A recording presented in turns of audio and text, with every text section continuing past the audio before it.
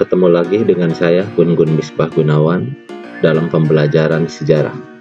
Hari ini kita akan membahas materi manusia purba di Indonesia. Jenis manusia purba di Indonesia.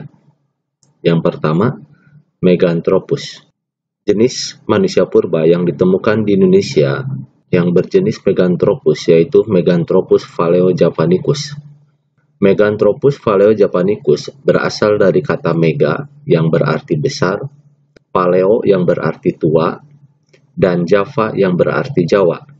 Artinya, Meganthropus paleojavanicus yaitu manusia besar atau manusia raksasa yang diperkirakan manusia pertama yang hidup di Pulau Jawa.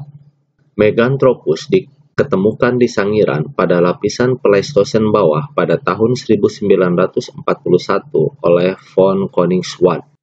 Ciri-ciri Meganthropus 1. Badan yang tegap 2. Pada bagian belakang kepala terdapat tonjolan yang tajam 3. Tulang pipi tebal, kening menonjol dengan sangat mencolok 4. Dagu belum terbentuk 5. Rahang yang kuat dan gerahamnya besar dan memiliki otot kunyah yang sangat kuat.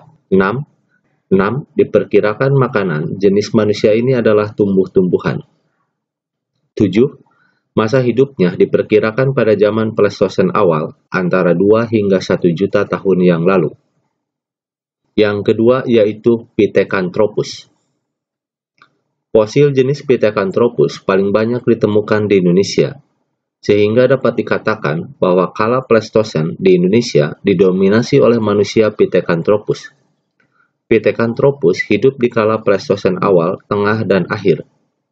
Sisa-sisanya dapat ditemukan di Mojokerto, Kedung Brubus, Trinil, Sangiran, Sambung Macan, dan Ngandong. Hidupnya di lembah-lembah atau di kaki pegunungan dekat perairan darat di Jawa Tengah dan Jawa Timur yang mungkin merupakan padang rumput dengan pohon-pohon yang jarang. Pithecanthropus mempunyai ciri-ciri antara lain. 1. Tinggi tubuh berkisar antara 165 sampai 180 cm dengan badan dan anggota badan yang tegap, tetapi tidak setegap Meganthropus. 2. Alat pengunyahnya juga tidak sehebat Meganthropus. 3. Dagu belum ada dan hidungnya lebar. 4. Volume otaknya berkisar antara 750 sampai 1300 cc. 5. Pithecanthropus hidup antara 2 juta sampai 200 ribu tahun yang lalu. Jenis-jenis Pithecanthropus yang ditemukan di Indonesia. 1. Pithecanthropus mojokertensis, artinya manusia kera dari Mojokerto ditemukan oleh von Koningswald di Mojokerto tahun 1936 pada lapisan Pleistosen bawah.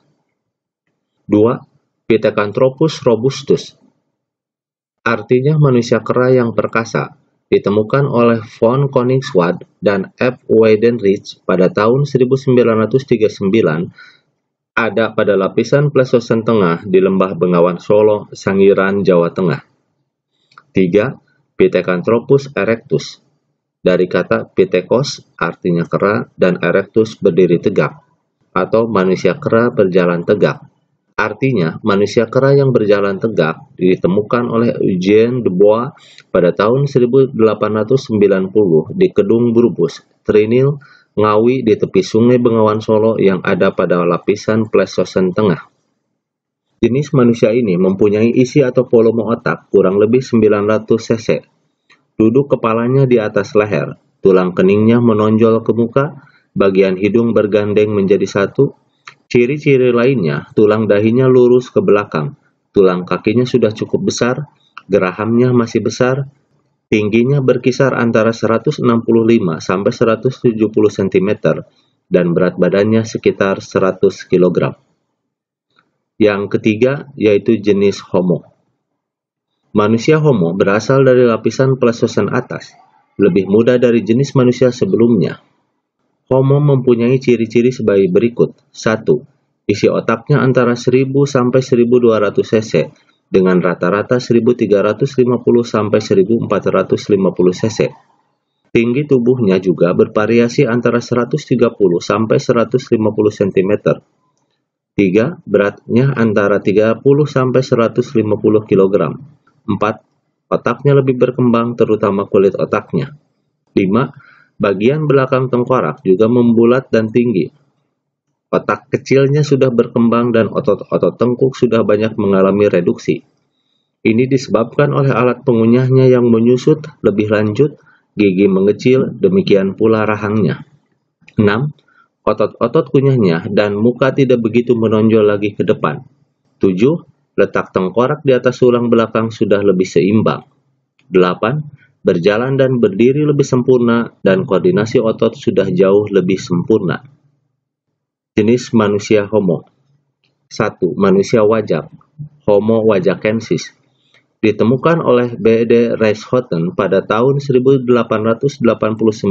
di dekat Tulung Agung, Jawa Timur. Ciri-cirinya antara lain, satu, jenis manusia purba ini tinggi tubuhnya antara 130 sampai 210 cm. Dua, berat badannya kurang lebih 30 sampai 150 kg. Tiga, mukanya lebar, mulutnya masih menonjol, dahinya masih menonjol, walaupun tidak seperti Pithecanthropus. 4. Manusia ini hidup antara 25.000 sampai dengan 40.000 tahun yang lalu. Yang kedua, manusia liang buah. Manusia liang buah ditemukan oleh Peter Brown dan Mike J. Morwood pada bulan September 2003. Kemudian diberi nama Homo floresiensis, sesuai dengan tempat ditemukannya fosil manusia liang buah. Liang buah, bila diartikan secara harfiah, merupakan sebuah gua yang dingin. Ciri-cirinya antara lain, satu, Manusia liang buah mempunyai ciri tengkorak yang panjang dan rendah, berukuran kecil, dengan volume otak kurang lebih 380 cm. Kapasitas kranial tersebut berada jauh di bawah Homo erectus 1000 cc, manusia modern Homo sapiens 1400 cc, dan bahkan berada di bawah volume otak simpanse 450 cc. Yang kedua berasal dari masa akhir masa Pleistosen. Yang ketiga, Homo soloensis, artinya manusia dari Solo, ditemukan di daerah Ngandong, Lembah Sungai Bengawan Solo oleh von Koenigswald pada tahun 1931 sampai 1934. Demikian materi untuk hari ini. Terima kasih. Wassalamualaikum warahmatullahi wabarakatuh.